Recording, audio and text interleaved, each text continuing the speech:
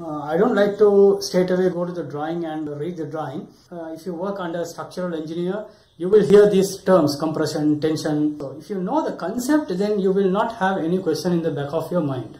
These members are load transferring members. Columns and beams are what experiencing the stress. When you are lifting the dumbbell, you can feel the stress in your uh, biceps. Okay, I can compress like this, see? Or else I can pull apart, tension. Okay, think about abdominal crunch. If the force is like this, we call compression. So, shear reinforcement like this vertical. Normally it is 6 mm or 8 mm bar. I'll show you the real images when we are reading the drawing. If you understand the concept, you can work confidently.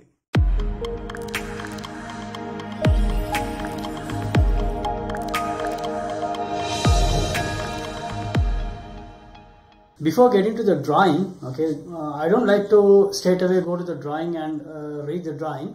Why? In the sense you will not understand the concept. Even as a draftsman, when you go through the drawing, uh, if you work under a structural engineer, you will hear these terms compression, tension, uh, many terms. Okay, so if you know the concept, then you will not have any question in the back of your mind. Right, you know, uh, when you are talking about the structural, I compared with the human body. Na? Can you remember? Structure is something like our bone okay where the load is transferred through the bones no? These members are load transferring members. So for example if you take these columns and beams okay so this is what? Transferring the load. So it is experiencing the load no? one important thing. See for example if you have go to the gym uh, for example dumbbell when you are lifting the dumbbell you can feel the stress in your uh, biceps. Understand? Okay? Likewise when the load is applied to these uh, uh, building members okay like columns and beams. These columns and beams are what experiencing the stress. The building members like columns this can bear up to certain amount of weight.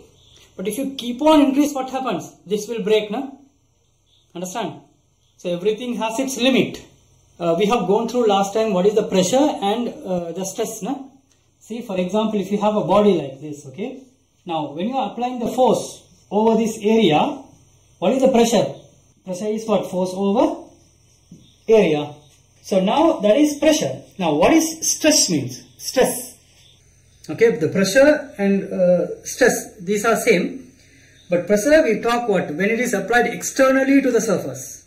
Okay, so pressure is applied only on the surface. But stress everywhere inside the body. We have many types of stress, compression, tension, shear, torsion. Okay, what is compression? For example, if I take this whiteboard cleaner, okay, I can compress like this, see? Or else I can pull apart, tension. But if I do like this, okay, this side I'll push it down and this side upwards like this, see? Understand? That is what? Shear. And torsion is something like this, I'm twisting, see? I'm rotating this side and here I'm rotating opposite direction, twisting, see? So that is what torsion, understand?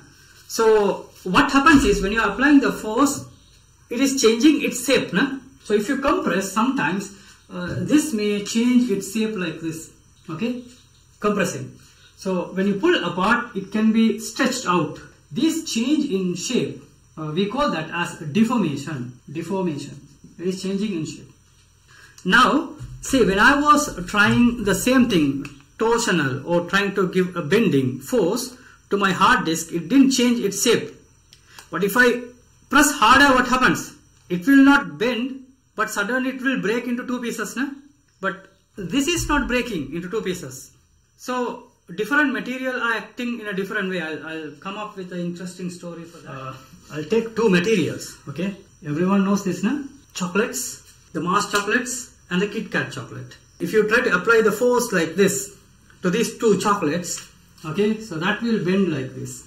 Okay but if you do the same thing to the Kit Kat what happens? It will not bend na? what happens? It will break into two pieces like this. So we call this as a ductile. Ductile material and this is called as brittle material. Ductile and brittle material. Now coming to the real time example ductile. See steel. Uh, for this we have another example. See glass. Now this is something like concrete. Concrete also same so this is the column, concrete, and this is what? Steel.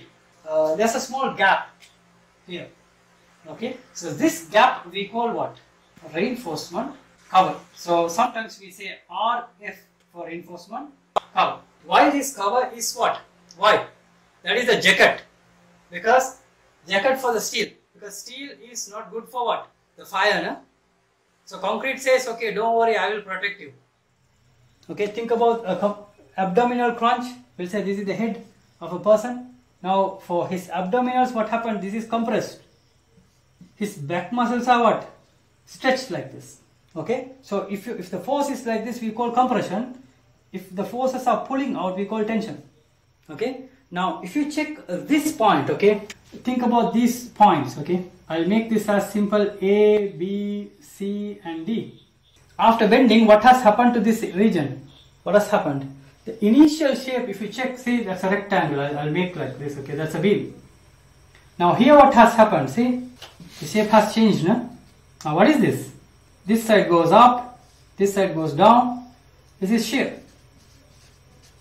Okay. Now, if you have a reinforcement bar in here, we call this reinforcement as tension reinforcement. And this reinforcement bar, we call what? Shear reinforcement. So, one way of uh, providing this uh, uh, shear reinforcement is something like this of providing those shear reinforcement like this vertical. But say sometimes in the mid there's no shear but yet we will provide what? Completely. Sometimes at the end we provide what? More shear links like this very close here in the mid a little bit far away. I'll take a cross section here.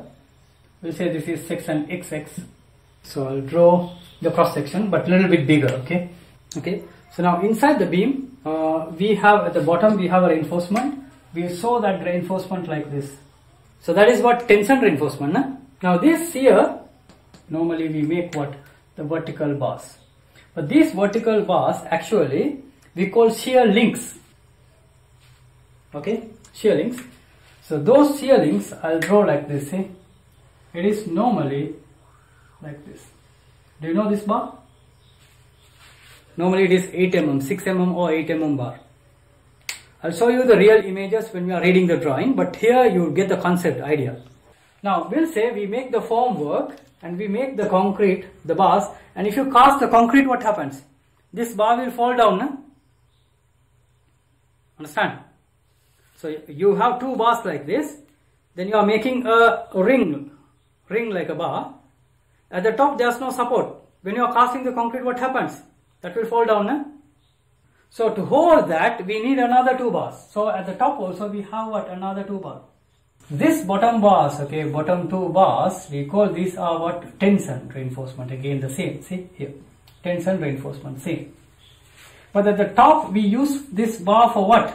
For holding, no? for hanging purpose, to hang the shear link. So we call that as hanger bar. We call that as hanger, hanger bar. But you know, there's another thing. For example, we'll say in a project, we have some load, but here we are getting very big compression force, very big compression force. Now, the concrete cannot handle the compression also, because we know the value, know, maximum 60. But the uh, steel is what? 400 or 500. The concrete now says what? Uh, what? Dear steel, I cannot handle the compression, please support me. In that case, the bar is provided here to bear the load. In that case, the same bar we call what? Compression bar. Compression bar. Singly reinforced beam or doubly reinforced beam. We have reinforcement bar here, uh, stirrup. We call shear link. Now this is what? Singly reinforced beam. This is doubly reinforced beam. What is the difference? Can you identify the difference between these two? By looking at this, you cannot say it is exactly same. Only the difference is here the bottom two bars. Yes, exactly. Okay. So this bar is used for what? Tension only. And here also these two bars at the bottom, tension only. But here these two bars are used for what? I'll write it here, hanger. And these two bars are used for what? This is for compression. We call this as a double reinforcement beam. This is a single, single reinforced beam. But by looking at the drawing, we cannot differentiate it. Right. So the idea is what? Um, uh, being a draftsman, if you just go through the software only, or else the drawing only, that is useless.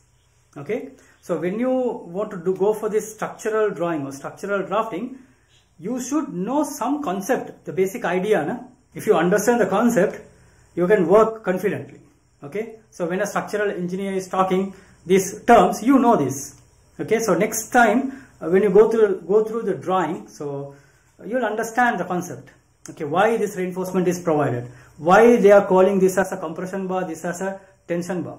Here we are trying to understand the concept. We are preparing ourselves to work with the structural engineers as a draftsman. So I have some more topics to talk uh, with the concept. Okay, uh, so maybe next class we hopefully we finish it off this concept. The second thing is we'll read the drawing. So when you are reading the drawing, I'll show you the real-time images also. Okay, so real-time site photographs and these things. So you will get a complete idea uh, about the drawing and how it is uh, fixed in the real uh, field. And you know the concept also here. So with that knowledge, only we'll move to what? Drafting. Okay same as we are learning what structure uh, architectural drawing now first we learn the concept the basics then we learn the tools uh, okay then uh, we go for what drafting